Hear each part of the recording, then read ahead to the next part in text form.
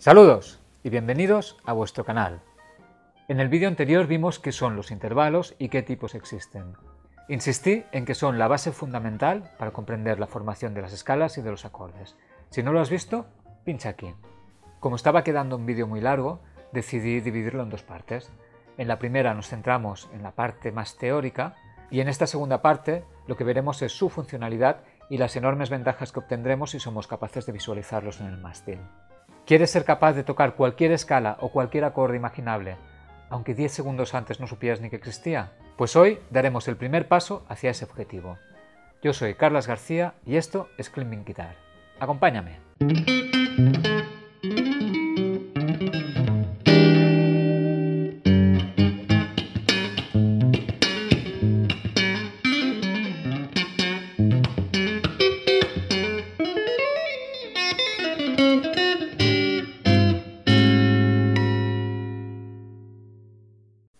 Una vez sabemos los nombres de los intervalos que existen, podemos subdividirlos en varias especies. No profundizaremos aquí en todas estas subdivisiones, salvo en las que se centran en su consonancia o disonancia.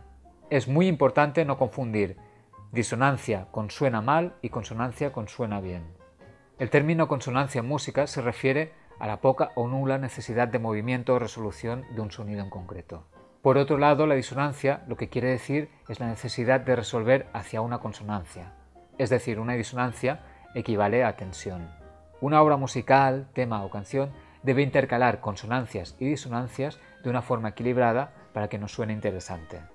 Un exceso de reposo nos aburrirá increíblemente haciendo que desconectemos. Pues yo he creado un himno al que le llamo Madre Tierra, Padre Sol. Hace así.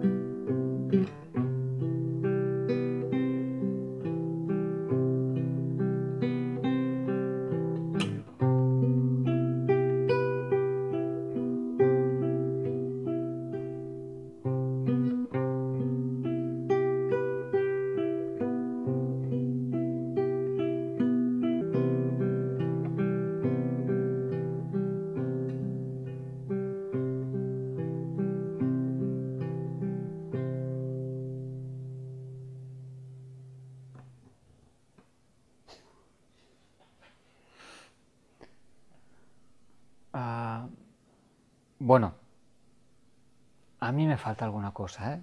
Yo creo que tendríamos que darle alguna vuelta más. Y cuando hay demasiada sorpresa, lo que espera ya es una relajación. Cuando esto no está equilibrado, desconectamos.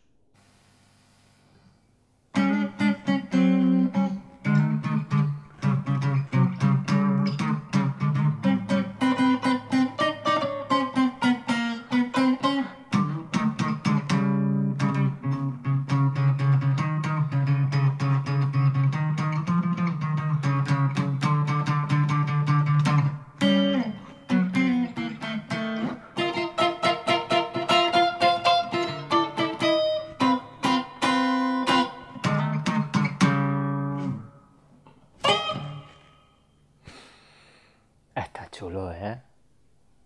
Está muy chulo.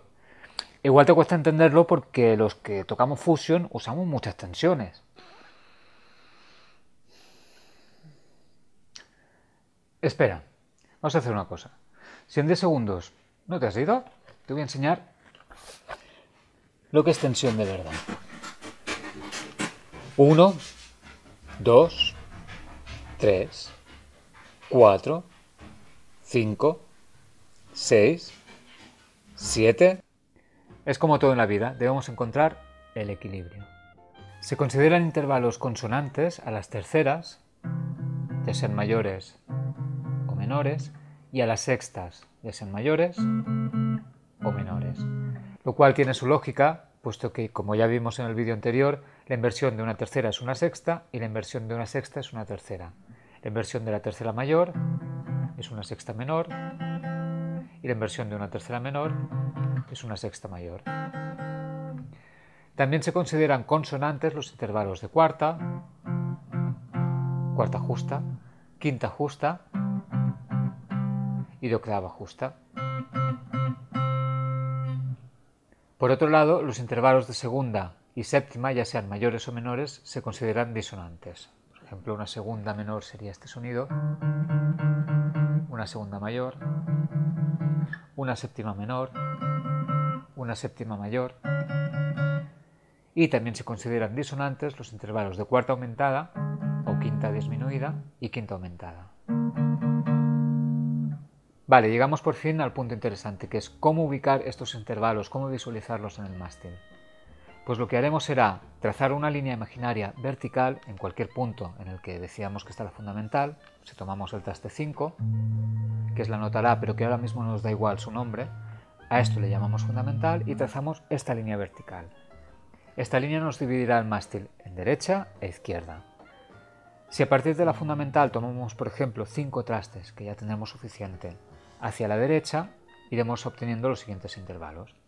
Fundamental, segunda menor, segunda mayor, segunda aumentada o tercera menor, tercera mayor, aquí tendremos la cuarta justa, cuarta aumentada o quinta disminuida, quinta justa, quinta aumentada o sexta menor, sexta mayor, séptima menor, séptima mayor, octava.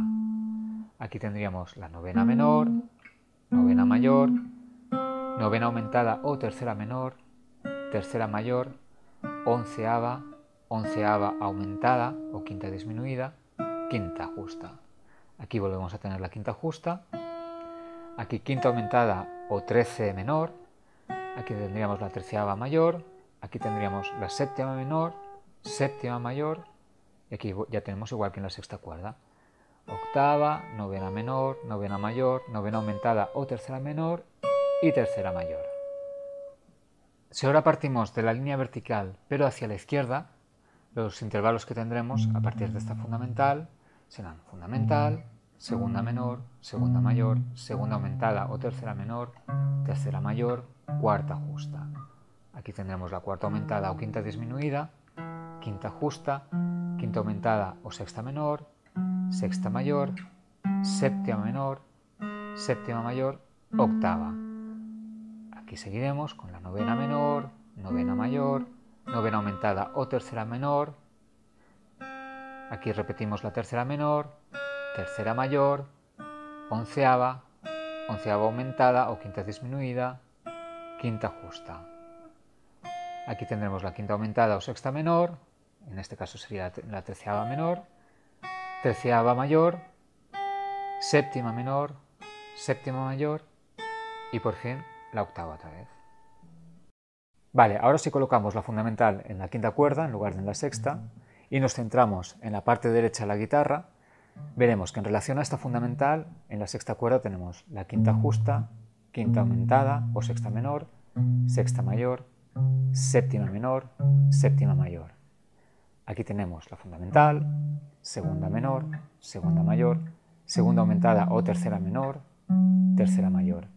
Bajamos de cuerda, tenemos la cuarta justa, cuarta aumentada o quinta disminuida, quinta justa, quinta aumentada o sexta menor, sexta mayor.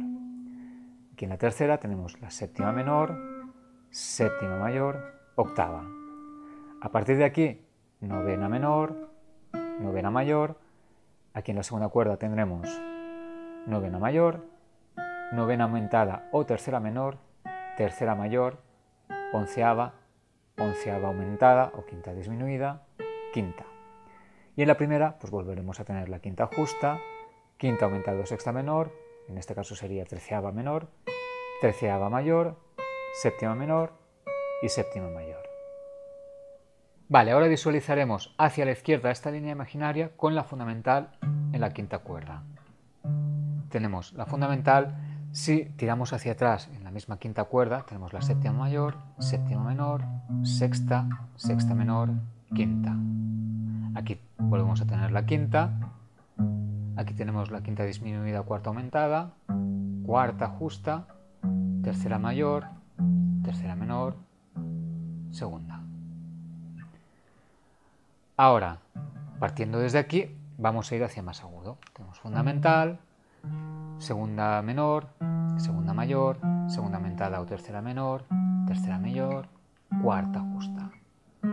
Cuarta aumentada o quinta disminuida, quinta justa, quinta aumentada o sexta menor, sexta mayor, séptima menor. Aquí volvemos a tener la séptima menor.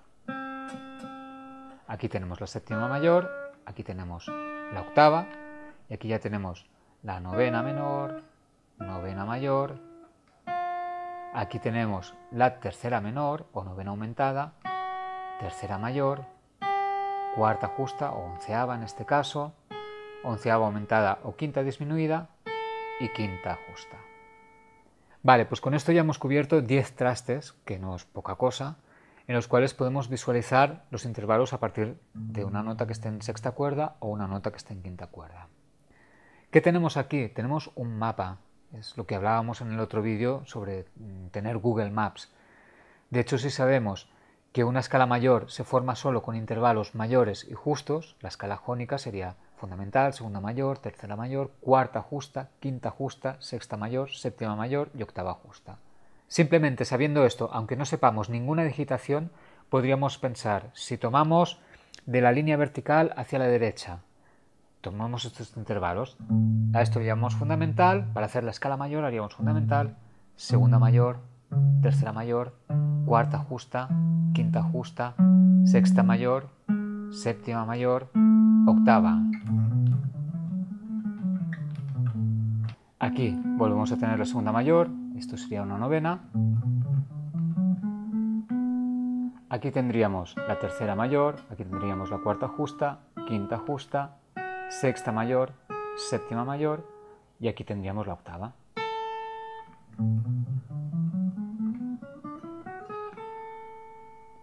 De esta forma podemos crear nosotros mismos nuestras propias digitaciones. En este caso, pues lo hemos hecho a partir de la fundamental en sexta cuerda hacia la derecha del mástil.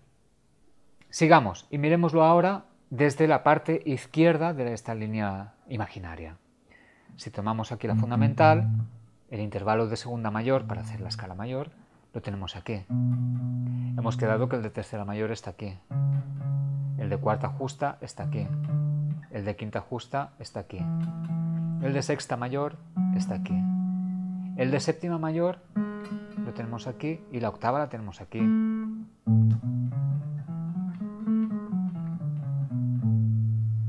Si seguimos colocando estos intervalos mayores y justos, tendremos pues, hasta las dos octavas que necesitamos.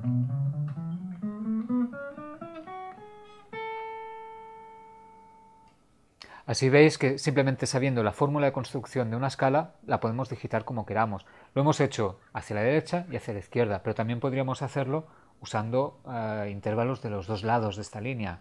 Fundamental, segunda mayor, tercera mayor, ahora estamos hacia la izquierda, Cuarta justa, quinta, estamos a la derecha. Sexta, estamos a la izquierda.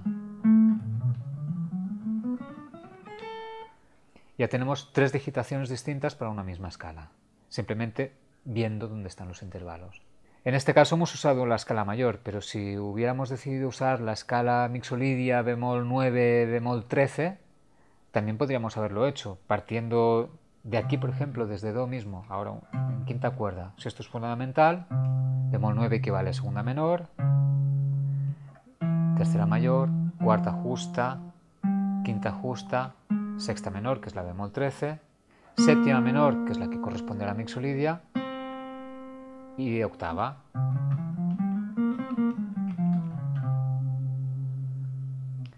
Lo podríamos hacer en cualquier digitación, yendo hacia adelante, hacia atrás o usando las dos mitades como es lo que he hecho ahora.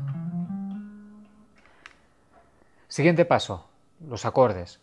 Pongamos por ejemplo algo fácil, queremos hacer un acorde triada con fundamental en sexta cuerda. Y sabemos que los acordes triada mayor se forman con la fundamental, la tercera mayor y la quinta justa. Si tomamos aquí la fundamental, y tiramos hacia la derecha de esta línea imaginaria, aquí tenemos una quinta justa, aquí tenemos una octava, aquí tenemos una tercera mayor, aquí una quinta justa y aquí tenemos la octava otra vez. Pues esto sería un La mayor porque la fundamental es La. Supongo que sonará esta posición. Si ahora queremos estructurar un acorde mayor a partir de la interválica que hay en la parte izquierda de esta línea imaginaria, tendríamos la fundamental, aquí tenemos la tercera mayor, aquí tenemos la quinta justa. Aquí volvemos a tener la fundamental, aquí tenemos una tercera mayor y aquí nos faltaría, por ejemplo, pues poner otra vez la, la fundamental o la octava. Este acorde, si os fijáis, es el acorde de la posición de sol mayor típica abierta. Vale, a partir de cualquier fórmula podremos obtener cualquier acorde. Ahora hemos hecho uno sencillito, pero imaginemos que queremos pues un La 7, 13, eh, bemol 9. Pues aquí tendremos la fundamental, aquí tenemos una séptima menor, aquí tenemos la tercera mayor, aquí tenemos la 13 y la bemol 9 la tenemos aquí, con lo cual pues podríamos hacer algo así.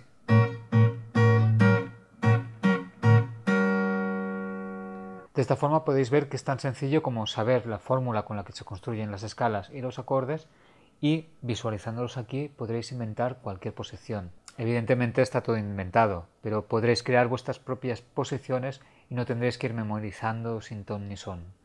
De hecho, incluso si alguien os enseña una posición, seréis capaces de interpretar, pues esto es la fundamental, la tercera mayor, la séptima menor, la novena aumentada, por ejemplo. Pues esto sería un re 7 sostenido 9. De esta forma es mucho más fácil entender y memorizar todos los acordes que luego vendrán como tensiones o los acordes invertidos o los poliacordes. Facilitará muchísimo todo, todo el estudio.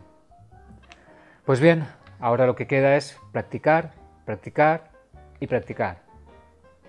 Y practicar también. Si os ha gustado este vídeo y os ha aportado algo de valor, suscribíos y darle a la campanita para que YouTube os avise cuando suba nuevos vídeos. Si además queréis darme un like y compartir con alguien a quien creáis que le puede interesar, os estaré muy agradecido. Nos vemos en el próximo vídeo. ¡Chao!